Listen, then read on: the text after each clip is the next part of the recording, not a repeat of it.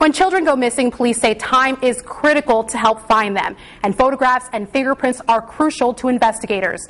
Today in Warwick, Balise Toyota hosted an event for parents to get their little ones fingerprinted and photographed with digital records, all for free.